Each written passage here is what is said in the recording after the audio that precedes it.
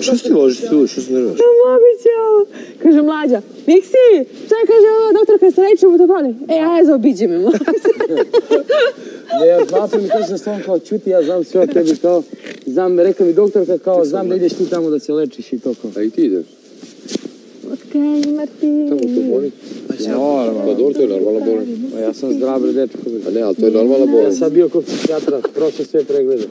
Sve zdrave, kod red, normalno. Mislim da nisu svi to radili. Ona trebala da ide, da ide, da ide pre realitija, u, stvarno da ide u toponicu. Svega mi njena keva zvala tu doktorku. Zvala me žena pre realitija pričao. Ja sam malo i raspitivao i zvao i, i to, to mi nisam imao šta da radim. Ono, pa rekao, aj malo, da.